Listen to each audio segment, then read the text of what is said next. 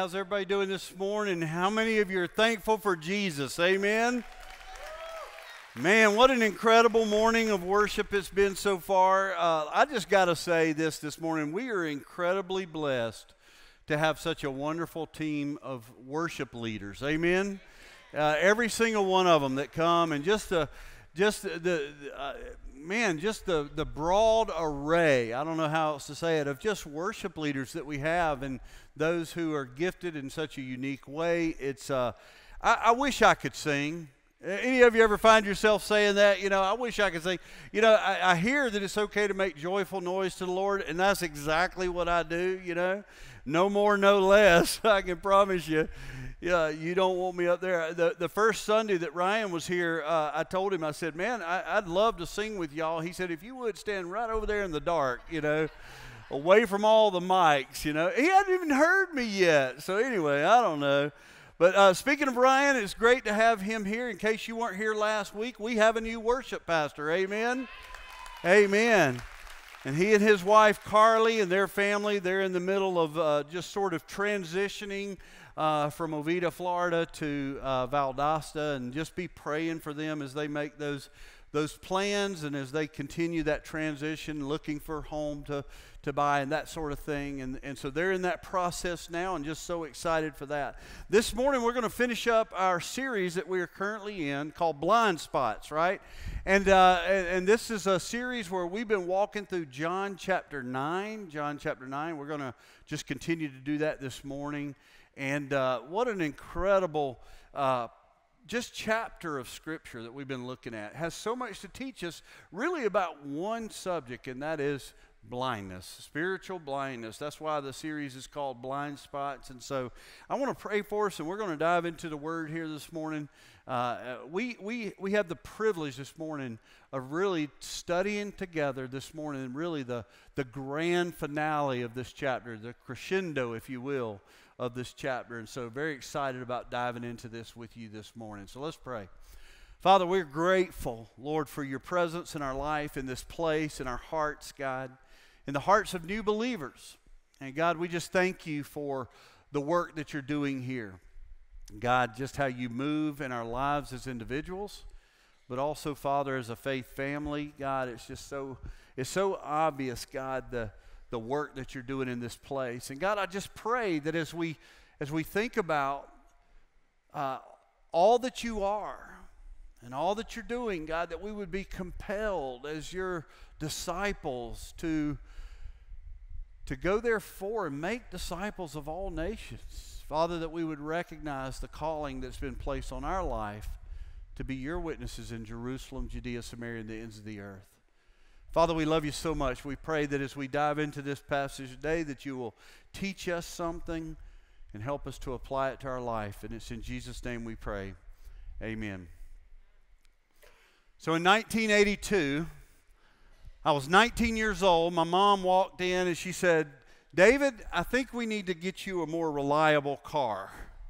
I said, Yes. She said, I've been talking to a dealership downtown my ears perked up as a 19 year old. I'm excited. I want to hear more about this. What's, what's going on? I, she said, I've, uh, I've talked to a man down there. He's got a real sporty car that I want to take you down there and show you. And man, my heart just leapt for joy. I was the car I was driving. I mean, you had to crank it with a pair of pliers. I mean, I was popping the hood. It was not very reliable vehicle, and of all the work and school and everything I was involved in, she said, We need to get, you something. And she says, It's A new car. And man, I got really excited then. And so we rode down to the dealership, and I couldn't wait. I'm thinking, Camaro, Firebird, what could it be that is so sporty that she's going to buy me? Surely not a Corvette, but I'll settle for a Camaro. And so we got there, and the dealer walked us out to a 1982 Subaru hatchback GT Sport. The only thing that made it sport was one pinstripe that went down the side and the word sport at the end. There was nothing else about this car. And as a 19 year old kid, I looked at this car and I thought, what in the world? Ultimately, I was blessed to have it, I guess you might say. It didn't break down, it's pretty reliable, right? That's what I had. But here's the crazy thing about this car is that in one year, I ended up wrecking it twice. The first time I was driving down the road in town, and as I was driving down the road, I I saw some friends off on the side of the road hanging out in the front yard, and as I drove by, I'm checking out what they're doing. I'm looking into everything that's going on, and I'm waving at them, "Hey guys, what's going on?" And it's one of those things where you you're driving and you just let your your face just turn with the friends, and I'm all about hanging out the window. And what I didn't recognize was the reality of what was in front of me, which was a car that had stopped to turn left, and he was waiting on traffic and I just plowed right into the back of that car. Knocked me out. When I woke up, all my friends were over there trying to pull me out of the car, along with the guy that I hit. Are you okay? They said. Just tore the car up. It was less than a few months old. I got it fixed. I was back on the road, right? And a few months later, my sister and I were driving uh, over to see my dad, and we were on a country road, and we were going, and we weren't speeding. I mean, you couldn't speed in this thing. It had 72 horsepower, okay? The engine was measured by cc's, okay? Not cubic inches, cubic centimeters, right? It wouldn't go very fast, but as we were driving along, I became distracted by these little creatures called gnats. Have you ever been, you know, they get in the car in the summer, and then, and then as you turn the air on, they tend to, to sort of migrate toward the windows. You ever notice this? And, and as I was driving along, I realized that there were about 400 on my window. It was kind of freaking me out, and so I'd let my window down yeah, it was roll windows, you know. And I was I was shooing them out, and again, I didn't recognize the reality of what was in front of me, which was a very sharp curve. Now, this time was not just a little fender bender. This time we rolled it three times, and that was the end of the Subaru. They're, they're made of tinfoil, so it, did, it didn't last. I don't even know, by the grace of God, we survived, right? So it was over.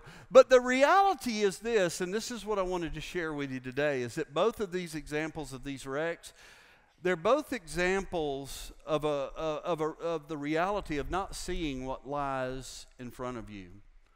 The reality, the truth, what's exactly in front of you, and, and you don't see it. You're you're blind to this, to this problem that lies ahead if you don't alter your direction, right?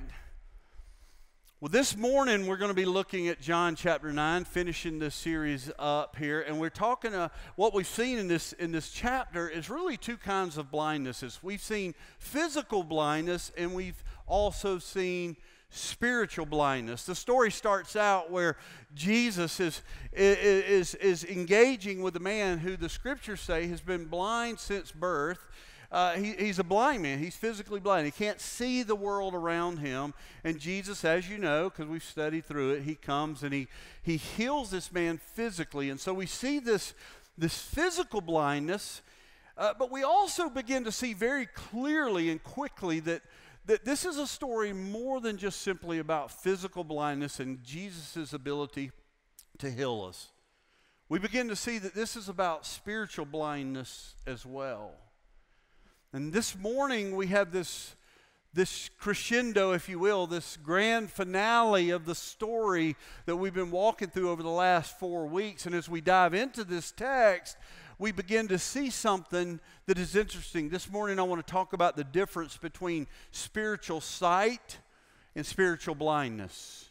Okay, so we've talked a little bit over the series about spiritual blindness and what that means, but but we begin to see the difference between being able to see things spiritually, but also being able to recognize the spiritual blindness in our life. And so read with me, if you will, John chapter 9, verse 35 through 41. This is what the word says. Jesus heard that they had thrown the man out. And when he found him, he asked, Do you believe in the Son of Man? Who is he, sir, that I may believe in him? He asked. And Jesus answered, You have seen him. In fact, he is the one speaking with you. I believe, Lord, he said. And he worshiped him. Jesus said, I came into this world for judgment in order that those who do not see will see, and those who do see will become blind. And some of the Pharisees who were with him heard these things and asked him, We aren't blind too, are we? And Jesus said, He says, If you were blind, Jesus told them, you, would, you wouldn't have sinned. But now that you say, We see, your sin remains. So, this passage is, is the conclusion of John chapter 9, and it confirms something that I mentioned to you at the very onset of this series. If you remember, if you were here for the first message, I said, this is a, is a message about physical blindness being healed, that Jesus' ability to physically heal people, right? But there's a greater story to be told here that this is a story also about spiritual blindness. And that wasn't evident in the first sermon, but it became more evident as we continued to read through it and study it together. And as we get to this one, we begin to see that this is exactly what uh, Jesus was doing in the midst of all that was going on here. And so I want to show you the difference between spiritual sight, which is really carried out in, in this passage in verses 35 through 39, and spiritual blindness, which is verses 40 through 41. Now, the term blind or blindness in Scripture is often used. It's a, it's a metaphor that's used to talk about man's inability to comprehend truth.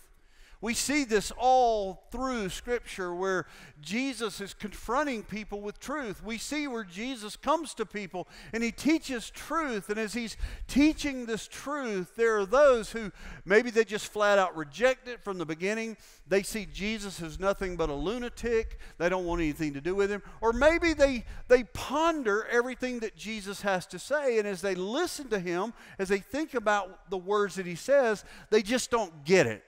But this word blindness, it's, it's something from the Old Testament to the, to the New that is used to talk about not being able to comprehend truth when it's standing right in front of you. Isaiah once said this He said, The people are blind even though they have eyes. And so it's, it's very obvious that, you know, he's talking about spiritual blindness. He says they have, the, they have physical eyes, but they can't see. Jeremiah said something very similar. He says, They have eyes, but they don't see. They have ears, but they don't hear. And he's talking about here when he says this, he says they don't have the spiritual eyes to see the truth. And, and, and as Jeremiah puts it, they don't even have the ears to hear. You know, they don't have the spiritual ears to hear the truth. And so this is often used in Scripture.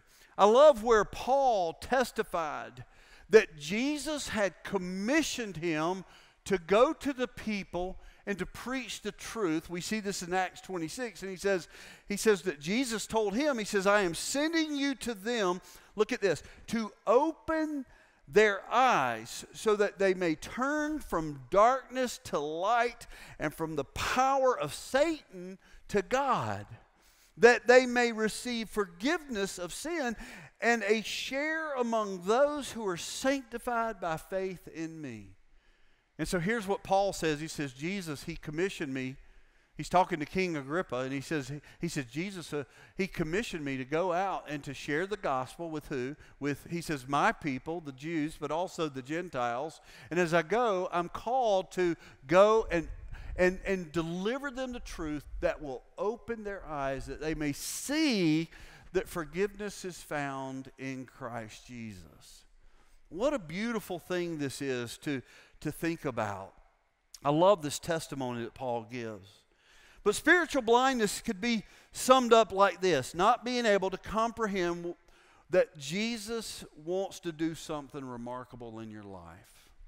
Every one of us here this morning, if you are a believer, if you're a disciple of Jesus, if I were to ask you this morning, you know, has Jesus done something remarkable in your life? Has He transformed your heart? Has He saved you from your sin? Has He brought you out of darkness into light?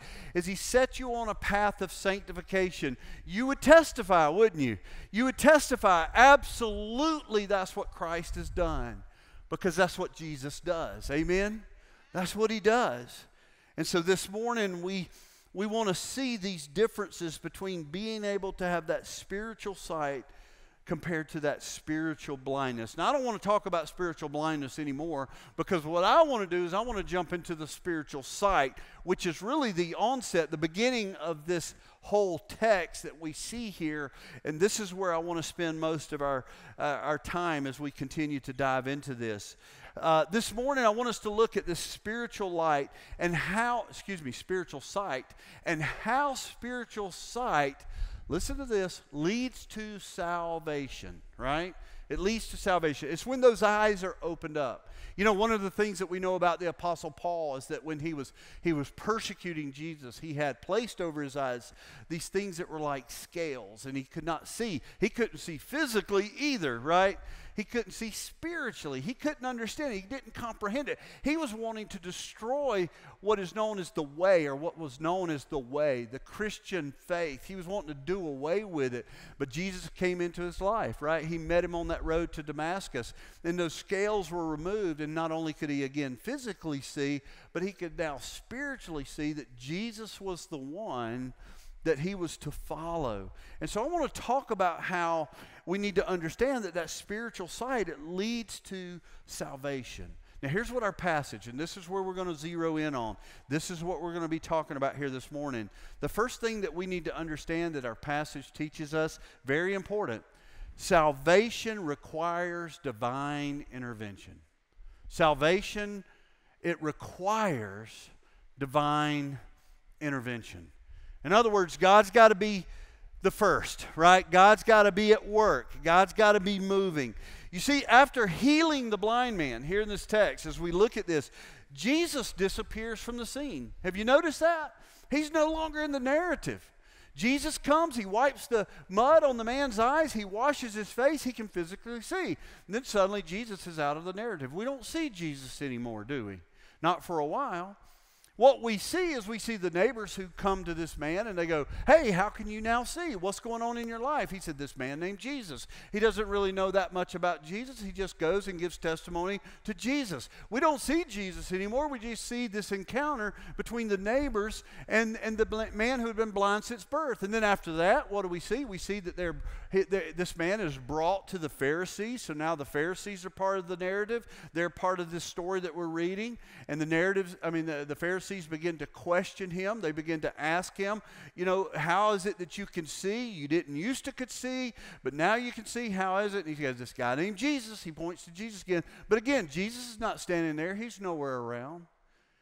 And so then they call in the parents. The parents become part of the story. We have that. They give testimony that this was indeed their son, but they say, I don't know anything about how he got healed. You'll have to talk to him, right? So in comes the man again. They bring him back again. I mean, do you see this, uh, this thing that is happening? This man, the whole world questions this man's sight. This whole world questions how he was once blind, but now he can see but Jesus is not part of the story. And then we see something really incredible. We see this community of people who supposedly love God remove him from their community. They excommunicate him. They say, you know what? If all you're going to do is point to Jesus, you're out of here. Get out. Get out. Stay out. We don't want you to be a part of our community anymore. You're no longer welcome here. And so now what we see is the blind man who is on his own, but Jesus. Amen. How many of you does that describe your story in your life? You know, all this is going on in our life. You know, you're confused. Your life is different. You, you don't understand it. You're being questioned by people. Maybe you're starting to change, you know, drift into a sort of a different style, lifestyle, and move away from who you used to be. You don't understand it really, but Jesus comes into your life and everything changes. You know what I love about this text here that we just read? Is that's how it begins. Look at this with me, if you will. In verse 35, the passage it starts off like this But Jesus heard that they had cast him out. I want you to know, notice something here. The man did not go looking for Jesus.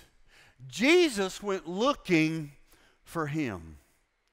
Jesus went looking for him. It says Jesus had heard that they had excommunicated, that they had removed him from their presence, kicked him out of the community. Now this guy is feeling, uh, instead of joy over the sight that he now has, suddenly he's dealing with loneliness from being on his own. And Jesus comes looking for him, rejected by his neighbors, rejected by the religious leader, uh, leaders of his day, but sought after by the Redeemer. Sought after by the Redeemer. How many of you are thankful that Jesus came looking for you? Amen?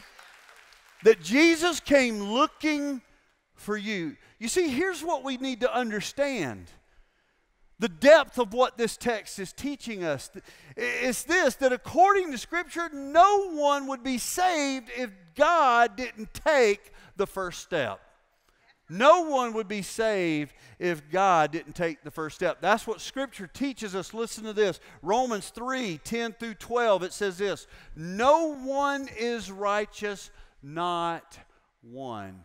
You know what Scripture is telling us here? It's saying that outside of Christ Jesus, there's not a single good person that exists on this earth. Never has been, never will be. No one is righteous outside of Christ Jesus. No one, not one. It continues here. It says, No one understands. We're talking about spiritual blindness, right? This is important. No one understands the truth of Christ. Not outside of Christ, not outside of God doing a work. No one understands. No one's righteous. All have sinned and fall short of the glory of God, right? That's what the scripture tells us. The wages of sin is death, eternally separating us from God. We're not, we're just wretched sinners. That's all we are. We don't have the ability to understand, not one of us. All have turned aside. Together they have become worthless. No one does good, not even one. Remember John 6, when we were back in John 6, verse 44, Jesus says this No one can come to me unless the Father who sent me draws him, and I will raise him up on the last day. No one can even approach the throne of God without Jesus. Jesus has to take the first step. Jesus told his disciples this You did not choose me, but I chose you and appointed you that you should go and bear fruit. This is why I love Jesus so much. I don't know why you love him so much, or if you love him so much. I hope you love him so much, especially if you're a believer. But this is why I love Jesus. You see, I grew up in a broken home. My parents were divorced. I, I, was sort of, you know, shuffled from one parent to the other. Now, I had wonderful parents. They loved me. There's no doubt about that. But there was a lot of confusion in my life. And as I, as I sought just validation, as I sought friendships, as I sought the things that I felt like would maybe make me feel good about life, it was not in the things of God, it was in other things. And I, I was pursuing the things of the world, and, and, and, I, and I, I found zero satisfaction in any of that. And yet, Jesus came into my life. He began to stir in my heart. He began to woo me with the, the Spirit of God drawing me closer and closer to God, I begin to do things that are outside of my own nature. Things like stop in a, in a small town and because I saw a, a, a store that said Christian bookstore and, and it just, it kind of got my attention. And I walked in there and I said, Is this where you buy the Bible? And they said, Yeah, what one do you want? I said, The holy one? I don't know. They were referring to translations. I don't even know anything about Jesus. I don't even know why I'm stopping to buy a Bible. Things like that were taking place in my life, and I wasn't pursuing Jesus, Jesus was pursuing me. That's why I love Jesus. Because here's the reality I know I'm not worthy. That's why we hear things like in the scripture where it says we're saved by grace. You know what? You, you don't deserve it, you just got it. Right? You don't deserve salvation. I know what I deserve. you know what you deserve. You may think you deserve more than you deserve, but you don't. Right? Amen? We know what we deserve, but grace says you're going to receive that which you don't deserve. Mercy says God's going to hold back what we do deserve. Amen? But God. But God. And we need to understand that. We need to understand what is happening here as we look at this text. We need to understand what this entire chapter of Scripture has been about. It's not about a man whose sight was given as a free gift, a physical gift of healing. It's not about that. I'm sure he was very thankful for that. And even his disciples, if you remember, they said this they said, Why is this that this guy was born blind? And Jesus said, Because God wants to do something in his life. That's the first indication, right? and, you know, the guy could have said, Well, he did.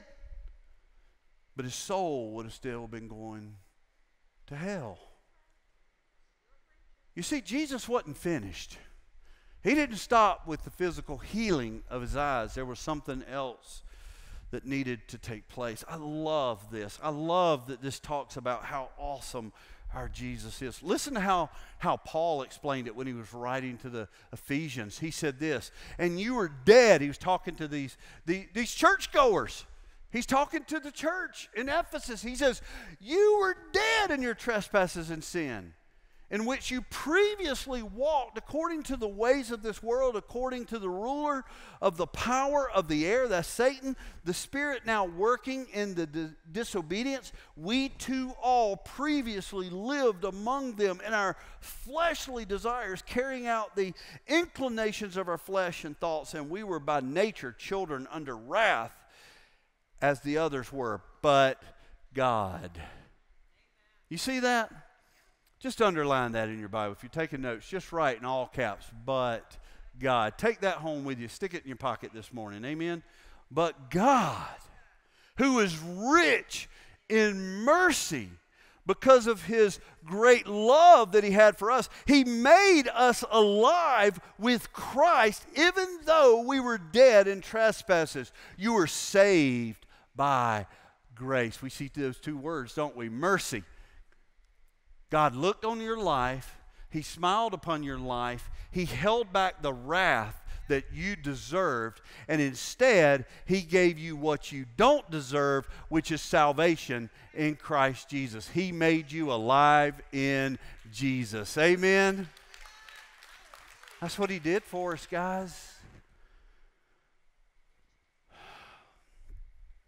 I hope you understand that. Not only does salvation require divine intervention. But here's the second part of it all salvation responds in faith.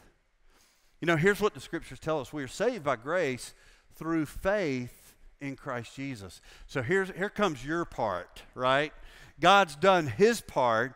He's drawn you into himself. He's transformed your heart but you still have a responsibility in this. Not that you can save yourself, you can't do that, that's on God. But you have a responsibility in responding to this faith. And what we see is that salvation brings about this response in faith. And we see it right here in this passage. Look at verse 35. Jesus said that they had ca- they, he had heard that. They had cast him out. And having found him he went looking for him. He says do you believe in the son of man? And he answered this is the blind man. He says and he who and who is he sir that i may believe in him? Now look at what jesus says verse 37 jesus says to him you have seen him and he is speaking to you. I love this. Isn't jesus so creative like this sometimes it's like, you know, it, it's the woman at the well. Remember that story? He's looking at Jesus. I mean, Jesus is standing in front of her. And she says, Well, who is the Messiah? He says, I'm that guy. you know, in the most humble ways, you know. Jesus, who could just be in all his glory, you know, he just says, Well, I'm, I'm, that, I'm that guy. I'm the one. I'm the one you've been waiting on. I'm here now. And just like the Samaritan woman, she runs into town. Come and see, I found the Messiah. Right? Standing before the blind man who could now see with his own eyes. He didn't need just ears to hear, he had eyes to see. He's looking physically at Jesus. And Jesus says to him, but here's the thing a lot of people had physically seen Jesus, a lot of Pharisees had physically seen Jesus, and they didn't respond. God's done this mighty work in this man's life. He's standing right here and he says, I'm that guy. Now look, here it comes. Here's, here's the part. Here's the, here's the salvation responding in faith. Look at verse 38. He says, Lord, what do these next words say? I believe. I believe. That's not even the best part. He responded in worship. Worship. You know, we celebrate uh, a new worship pastor, and I'm so thankful. Whew, I'm glad that task is over. Ryan, glad to have you. Carly, thank you for allowing him to be our pastor. I know you were the one that really made the decision for your, your family. But anyway, thank you guys for being here. here here's the thing but I, I want you to know, and I know he would want you to know as well, you know, worship is not just, it's not just singing, it's not reciting these words that are on a screen just because everybody else around here. It, it's, it, it's, it's pouring your heart out to a holy and righteous God. That before you ever walked in here, you're saying to yourself, but God. But God, it's not about Him. It's not about the other worship leaders. It's not about the pastor. It's not about your friends that have gathered here with you. It's not about your family. It's about you and God worshiping each other. And what we see here is that the salvation that this man experienced, it responded in faith. It believed in its heart. He believed deep down that Jesus was the one in whom he had declared himself to be, just like he did in your life when he saved you. Amen? So we come in here not for Ryan, not for David, not for any of the other pastors, not for any of our friends or family. We come in here for Jesus. We come in here for Jesus. Thank you, Angela, for loving God enough to give him praise. The rest of you, pray for your soul. I pray for your soul. Angela, boy, she's the spiritual leader of the congregation. I love her so much. Woo! So we see this unfolding. And we've got to understand the, the, the reality uh, that faith is such, an, uh, is such a significant part, a foundational part of who we are as God's children. This man believed. What does it mean to believe? Here's what I want to I want to share with you this morning that simply believing that God exists, that he's some sort of cosmic force, that's not the evidence of salvation.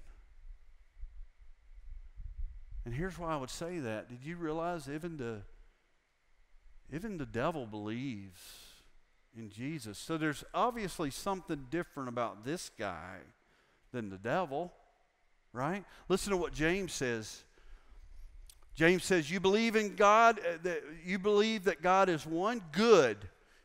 But even the demons believe and they shudder. In other words, the demons, the devil, they're very aware of who Jesus is, maybe more aware of who Jesus is than me and you are, because they shudder at the thought of who God is. They fear God. They, they, they hold God in reverence because they know who Jesus is. This is the enemy we're talking about. What about God's children? How do they view? How do they believe in Jesus? What is it that they believe about Jesus? We begin to see this as we go throughout the scripture. We begin to understand, and there's so many more, but I want to give you two consistent components, two consistent components to real biblical faith. First one, biblical faith is the kind of faith that trusts in God. It's the kind of faith that says, I trust in you, Lord. I will follow you, Lord. I believe in you, but I believe enough to say, God, I trust you with my life. My life is meaningless without you. My life is desperate without you. I trust in you. Isn't it funny how in our culture today, in our world today, these two words cause us to pause? Hey man, just trust me. you ever heard a car salesman? I know we got a few of those in here. I'm like, I don't trust you, not an inch right? You insurance salesman, you real, I mean, you know, salesmen in general, you're all of the. No, I'm kidding, I'm kidding. We hear this all the time, though, don't we? We hear it from our friends. You got to trust me. Come on, go with me. Over here, you got to trust me. You're going to have the time of your life. And too often we realize that those two words fail us. Don't they? Those two words, trust me, what does that mean in our world today? It means nothing. Hopefully, it means something, but too often it doesn't. But here's the thing about faith real faith, the kind of faith that we need to have in Christ, is we can say, we trust in God. It's not a blind leap either. It's real, it has substance to it, right? It has meat to it, it, it holds a special place in our heart. And the reason that is, is because God never lies and God never fails. Amen? He never lies and He never fails. We were singing a song a while ago about that very thing. God doesn't fail us, He's always there for us. So, biblical faith, the kind of faith that we need to have that is the evidence of our salvation, is the kind of faith that trusts God. Here's the second consistent component of faith. Biblical faith is a faith that stays consistently committed to God. Do you realize that as God's people, we should be driven? We should be driven by something that exists within our hearts. We should be driven by this desire to consistently remain committed to Him and Him alone. There's something in us that comes, we're given this at salvation. It's a part of who we are, it's a part of our identity in Christ that says, you know, God is, here's what it says it says, Jesus is worth living for. How many of you believe that this morning? That Jesus is worth living for. By saying that, we're by declaring that, we're saying that Jesus is worth trusting and Jesus is worth living for. I don't need the rest of the world if I have Jesus. I'll just follow Jesus. I don't need to follow anything else. I'll just follow Jesus. He's worth committing my life to. And real biblical faith, it's a commitment to God. All of God's people in the scripture, they're driven by this faith to live for Christ. Listen to what James says. We talked about him a while ago, but here's what he says in, in chapter 2, verse 26. He says, For just as the body is without the spirit is dead, so also faith without works is dead. What he's saying here is he's saying, you know what? If you truly have the kind of faith, the saving faith that, that, that is the evidence of, of salvation in Christ, you will serve God and serve others. Your works won't be dead. Your works will be glorifying to God. In fact, the scriptures tell us whatever you do, whether you eat or drink, whatever you do, do it all for the glory of God. Amen? And so scripture points out that, that God's people, they're driven by what Christ has done for them and the, the spirit that lives within them. We begin to see this.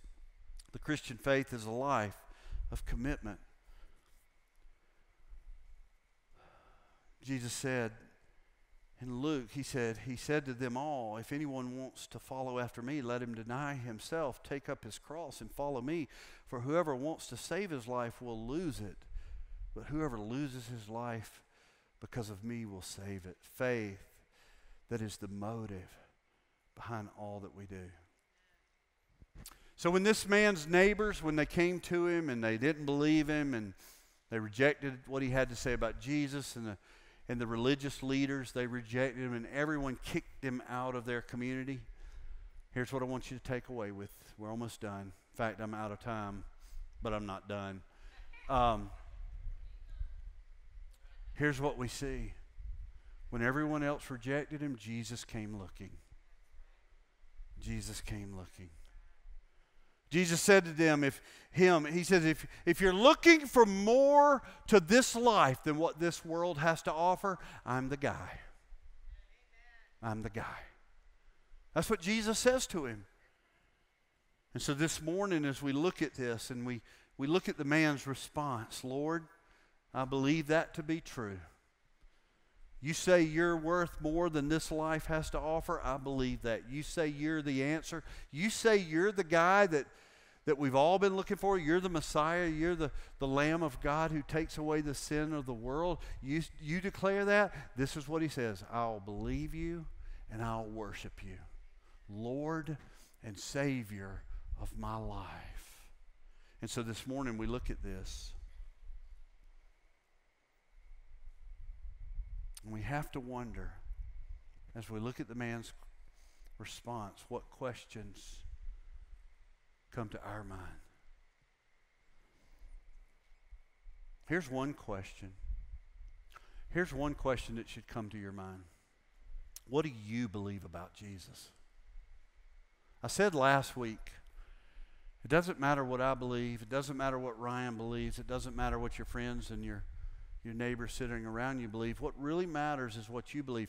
And as we've looked at a story here this morning, where a blind man, a blind since birth, was physically healed, but also given spiritual sight that he could see Jesus for who he is.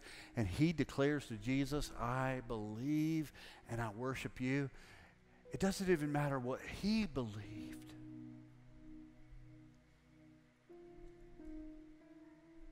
What matters today more than anything else in the world is what you believe about Jesus. So, what do you believe? And the reason I ask this is because I, I truly believe it to be the most, the most important question that we could ever consider. I've lived long enough, quite an old man. Not really. I, I feel like I'm 28 inside. I don't know why. Man, I feel young inside. I'm younger than Ryan. That's what I think. I've lived long enough to know this, though, that there was a time in my life when I didn't have Jesus.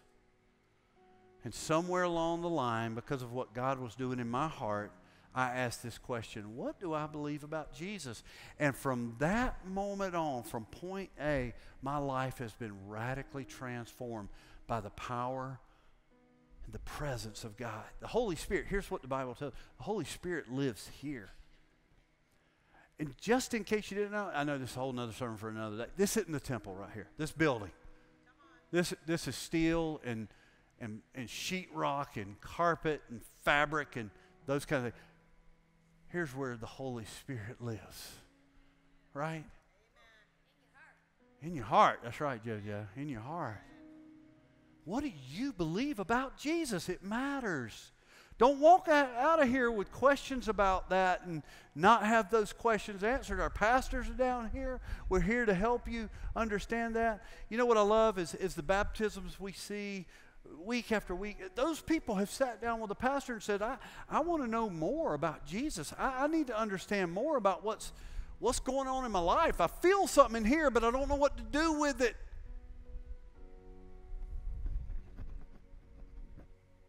What do you believe about Jesus?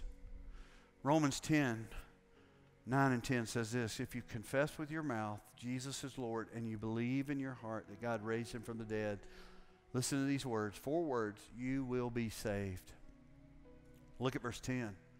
One believes with the heart, resulting in righteousness, and one confesses with the mouth, resulting in salvation.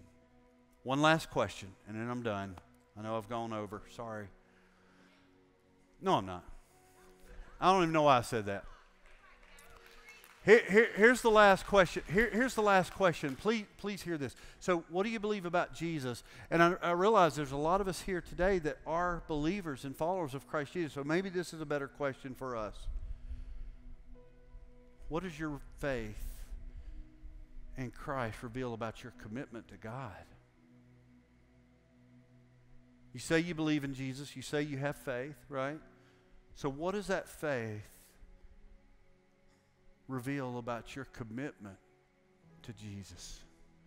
Now, here's why I ask that question. There have been times in my life where my faith revealed I was committed to Jesus. You know, I mean, I was living for Him. There have been other times in my life where my faith didn't show any evidence of salvation, and I had to repent of that and turn back to Him, you know. I understand that in our walk with Christ, you know, there, there's, there, there's spiritual ups and downs. There's, we like to call them dryness, dry times in our life because that makes us feel a little better about what's going on. A lot of times it's sin, you know. Right. But one of the most challenging questions I asked myself as I wrestled with this text is how does my faith reveal my commitment to Jesus? That's another question we might ponder. So this morning, I'm going to pray. Our band's going to come up here. They're going to lead us in worship. And, and you respond. However, God's calling you respond, respond. Just turn to Jesus. Talk to Jesus. Pray to Jesus. Come to this altar. Come to our pastors. Do whatever you have to do. Don't ignore him. Don't be like the Pharisees. Don't reject him. You're here today, it's probably because he's doing something in your life. He's taken that first step. Let's pray.